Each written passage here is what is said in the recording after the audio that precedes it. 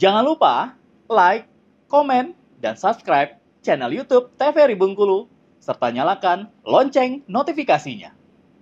Pemirsa Dewan Pengawas TVRI melakukan kunjungan ke LPP TVRI Bengkulu. Ya, dalam kesempatan ini dirinya menegaskan TVRI Bengkulu harus sigap mengawal proses pilkada. Dewan Pengawas TVRI Danang Sangga Buana melakukan kunjungan resmi ke LPP TVRI Bengkulu kemarin.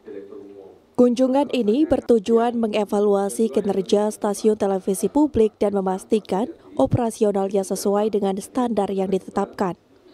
Selama kunjungan, Dewan Pengawas melakukan peninjauan fasilitas, berdialog dengan staf, serta mendalami berbagai program yang disiarkan. Dalam kesempatan ini, Dewan Pengawas TVRI Danang Sangga Buana menekankan pentingnya kualitas penyiaran dan pelayanan publik sebagai prioritas utama.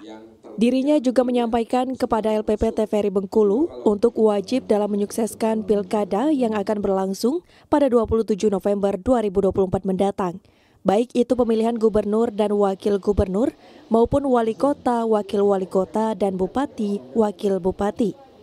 Dirinya berharap LPP TVRI Bengkulu memberikan kesempatan yang sama atau netral dan tidak memihak kepada seluruh kontestan. Selain itu, dirinya juga berharap LPP TVRI dapat membantu penyelenggara serta masyarakat untuk menyukseskan pilkada tahun ini agar berlangsung secara damai dan menghasilkan pemimpin yang baik, amanah, dan peduli terhadap masyarakat. Saya kira lembaga penyiaran publik TVRI uh, wajib uh, mensukseskan pilkada yang akan berlangsung dalam waktu beberapa bulan yang akan datang. Khusus di Provinsi Bengkulu, eh, baik pemilihan gubernur maupun eh, bupati dan kota, ini kan juga sedang akan berlangsung. Saya berharap eh, LPP TVRI Bengkulu memberikan kesempatan yang sama, eh, netral, independen, dan tidak memihak kepada seluruh kontestan Eh, dan juga membantu penyelenggara serta masyarakat untuk mensukseskan pilkada tahun ini berlangsung secara damai dan menghasilkan pemimpin yang baik, amanah, dan peduli terhadap masyarakat.